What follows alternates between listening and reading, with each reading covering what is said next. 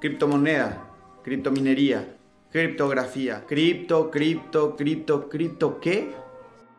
Dado este nuevo fenómeno de las criptomonedas, son muchas las personas que llegan con dudas y ganas de aprender sobre este nuevo universo. Amigos, amigas, personas familiares o conocidas nos preguntan todo el tiempo qué es Bitcoin, qué es criptominería, cómo se consigue, qué es blockchain. Bueno, eso lo vamos a responder.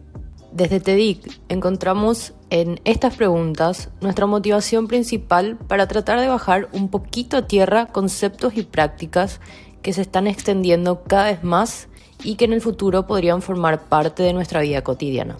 Acompáñanos en esta serie de videos para que juntos podamos entender un poco más sobre el ecosistema cripto. Si sos experto o experta en criptomonedas o en economía y estás escuchando esto, probablemente tengas unas cuantas críticas y sugerencias. No te olvides de que estas son bienvenidas. Nuestro conocimiento se construye de forma colectiva, así que no dudes en hacer tus aportes con un comentario debajo, un mensaje en nuestra web o incluso compartiendo este video y opinando sobre el mismo. ¿Por qué hablamos del asunto? A finales del 2021 se estimaba que 70 millones de personas en todo el mundo ya las utilizan. En Argentina, Brasil, Estados Unidos o Colombia, más del 10% de su población adulta dice poseer criptomonedas.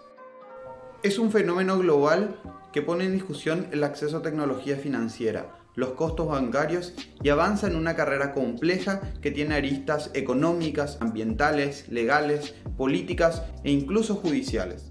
En Paraguay esto ya ocurre, pero antes que te tome por sorpresa, repasemos algunas ideas. Si te interesó este video y querés saber más sobre todo el mundo cripto, quédate atento a nuestras redes que se vienen novedades.